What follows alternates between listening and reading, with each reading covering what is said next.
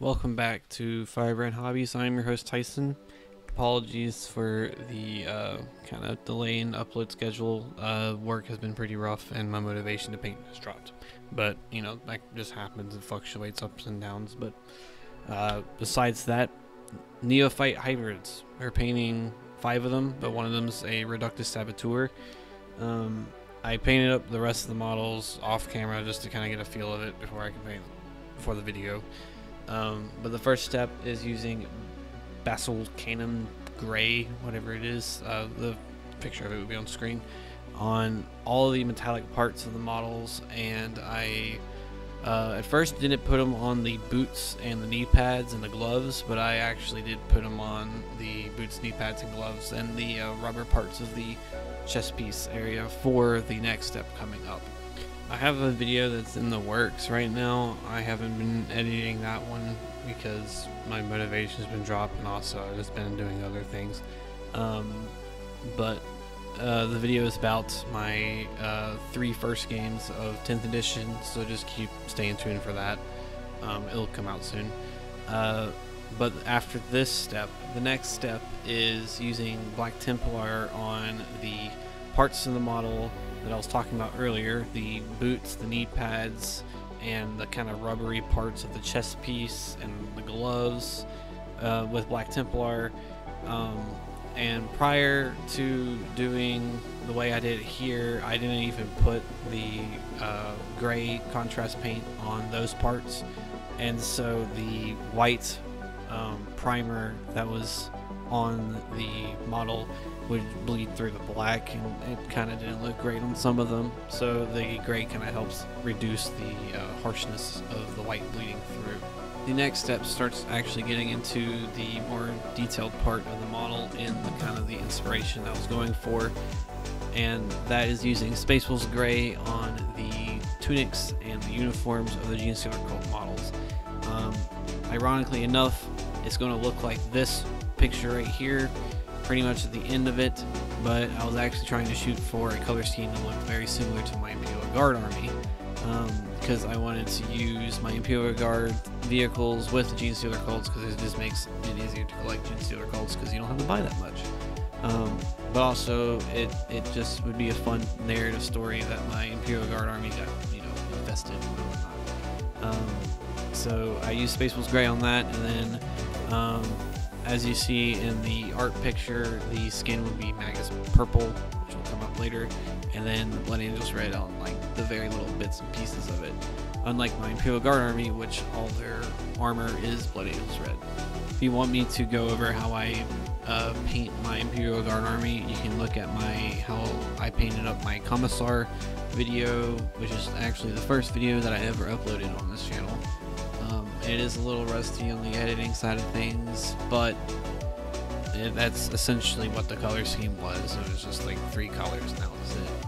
Um, speaking of Blood Angels Red, uh, we now go to that step, and on the Reductus Saboteur, there wasn't really anything to paint red on her clothing, but I did paint red on kind of like her little knickknacks and bombs and stuff to show like you know warning stuff and whatnot.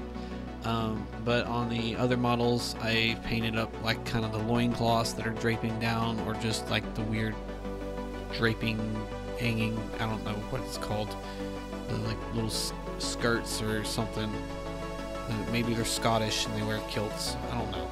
The Reductus Saboteur, I painted up the dynamite stick and essentially all of her mines and stuff that have like a UI kind of pad with red. Um, and then I put hazard stripes on her little um, her little charge handle thing. And then one of the wires is painted red on that big case because I was going to do red, yellow, blue. Just kind of have it like uh, you got to cut one of the three wires or disarm disarming kind of thing. Um, this step is going in over the skin of the Genestealer cults, showing that they are indeed Xenos and tainted. Um, Magus Purple was applied on the skin itself, and Leviathan Blue was applied on the chitin or the exoskeletons that some of the Genestealer cults have. Um, the claws on those hands that have like the chitin and whatnot were painted with Black Templars black. You could also do Leviathan's blue also if you really wanted to. It's up to you. You can choose.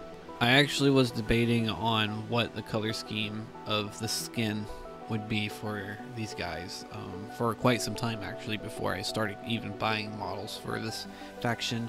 Um, I was debating on doing like a Martian green look, but then I looked to my left and then there's Death Guard and Nurgle. Essentially, most of my channel videos at the moment are of Death Guard and Nurgle, and I was like, I paint green too much. So, uh, I was debating on yellow at one point, but I just couldn't see it. And so I, I looked online and I saw this color scheme, and I was like, you know what? It looks good. So I'm just gonna stick with it. Um, but yeah, that that's how that's the story of my color scheme thought process. Uh, this step's using Imperial Fist Yellow on kind of just the random details and stuff. Uh, I used it on the medallions of the Genestealer cults. Please just paint it gold. I go back over it later after the video to paint it gold because I didn't like it. Um, I even painted the wires yellow for some reason when I should be painting it like snake bite leather or whatnot.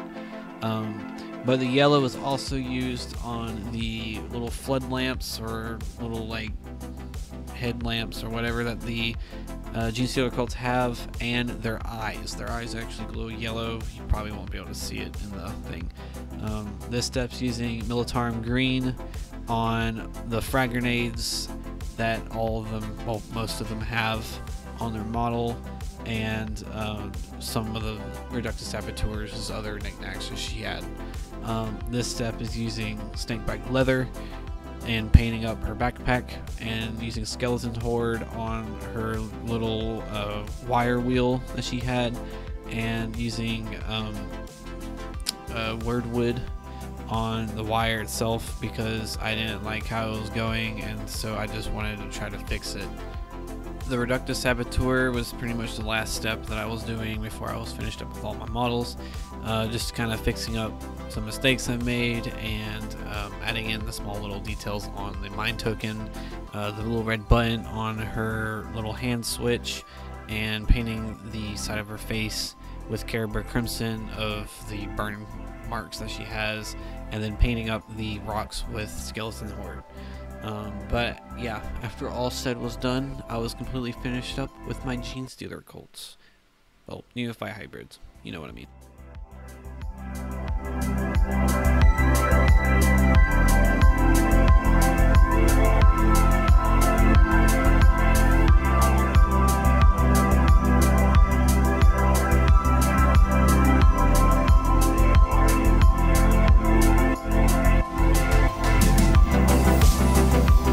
Thank you so much for watching. If you enjoyed the video, feel free to like, comment, subscribe, and stay tuned for upcoming videos. I will be posting again on a regular basis.